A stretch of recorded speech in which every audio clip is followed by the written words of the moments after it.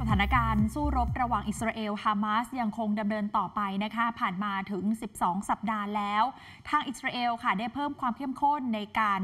ถล่มพื้นที่ทางตอนกลางและตอนใต้ของฉนวนกาซานะคะ ซึ่งมีรายงานว่าประชาชนค่ะ มีการย้ายไปอยู่พื้นที่ทางตอนใต้ของฉนวนกาซาที่เมืองราฟาติดกับพรมแดนของอียิปต์มากยิ่งขึ้นจนทำให้ตอนนี้ เมืองราฟากลายเป็นเมืองที่มีประชาชนหนาแน่นมากที่สุดในฉนวนกาซาแล้วค่ะ โดยทางกระทรวงสาธารณสุขกาซารายงานชาวปาเลสไตน์เสียชีวิต 187 คนในรอบ 24 ชั่วโมงที่ผ่านมา จากการโจมตีของอิสราเอลล่าสุดทำให้ยอดผู้เสียชีวิตรวมของชาวปาเลสไตน์ในกาซาเพิ่มเป็น 21,507 คน ใกล้แตะร้อยละหนึ่งของประชากรกาซาที่มีทั้งหมด2ล้าน3แสนคนค่ะ นอกจากนี้ยังมีชาวปาเลสไตน์ต้องอพยพพลัดถิ่น เนื่องจากหนีสงครามร้อยละ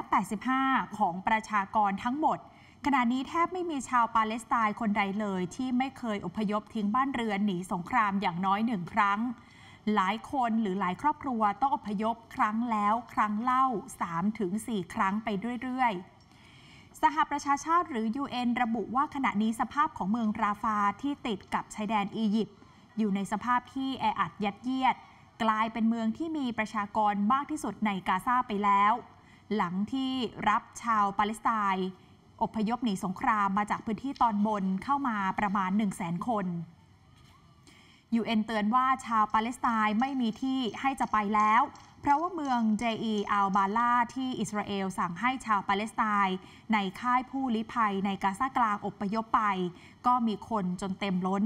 หลังจากที่ชาวปาเลสไตน์อพยพไปอยู่ที่เมืองนี้แล้วหลายแสนคนค่ะ มีภาพของการสู้รบล่าสุดเมื่อวานนี้นะคะฮามาสเปิดคลิป ซุ่มยิงรถถังอิสราเอลหลายคัน จนระเบิดไฟลุกท่วมในเมืองกาซาซิตี้ทางตอนเหนือ โดยอิสราเอลเจออุโมงค์ฮามาสเพิ่มอีกในกาซาเหนือค่ะ อยู่ในบริเวณสำนักงานใหญ่กลางของฮามาสและได้มีการทำลายไปทันที นับจนถึงตอนนี้ค่ะ สถานการณ์การสู้รบผ่านไป 12 สัปดาห์แล้ว อิสราเอลตั้งใจว่าจะจบปีนี้ ด้วยการเพิ่มความเข้มข้น ถล่มกาซากลางและใต้ โดยระบุว่าการถล่มกาซากลางและใต้ หลังจากที่ถล่มราบพื้นที่กาซาเหนือ เป็นขั้นตอนสำคัญมากของการทำลายล้างฮามาสให้สิ้นซาก โดยเมื่อวานนี้อิสราเอลโจมตีกาซากลางและใต้ แล้วก็ยังโจมตีเป้าหมายของกลุ่มฮิชบอลเลาะในเลบานอน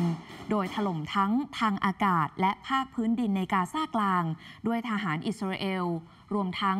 รถถังด้วยนะคะทำให้ชาวปาเลสไตน์ต้องอพยพหนีภัยสงครามครั้งแล้วครั้งเล่า หลังจากหนีมาจากกาซาเหนือ ตอนนี้ยังต้องหนีจากค่ายผู้ลี้ภัยหลายแห่งในกาซากลาง ไปยังเมืองเดอีอัลบาลาตามคำสั่งของอิสราเอล ก่อนหน้าที่อิสราเอลจะขยายการโจมตี ส่วนในกาซาใต้อิสราเอลก็ยังโจมตีทางอากาศเมืองราฟาด้วย แม้ว่าจะเป็นเมืองที่อิสราเอลสั่งให้ชาวปาเลสไตน์อพยพมาที่นี่ และทหารอิสราเอลรวมถึงรถถัง ก็ถล่มในเมืองขานยูนิสอย่างต่อเนื่องด้วยค่ะ พาไปดูพื้นที่ทางตอนเหนือของอิสราเอลกันบ้างนะคะ ชายแดนที่ติดกับเลบานอน กองทัพอิสราเอลเปิดคลิปถล่มทางอากาศเป้าหมายฮิสบอลเลาะในเลบานอนพลเรือตรีดานิเอลฮาการีโฆษกกองทัพอิสราเอลแถลงว่า อิสราเอลสิ้นสุด ชุดการโจมตีอย่างกว้างขวาง ต่อเป้าหมายกลุ่มฮิสบอลเลาะบริเวณชายแดนเลบานอนติดอิสราเอลแล้ว ชายแดนเลบานอนไม่เหมือนเดิมเมื่อวันที่ 6 ตุลาคมอีกต่อไป โดย 6 ตุลาคมคือ 1 วันก่อนที่อิสราเอล จะเปิดศึกโจมตีกับฮามาส และในวันนั้นฮิสบอลเลาะยังคงอยู่บริเวณชายแดนที่ติดกับอิสราเอลค่ะ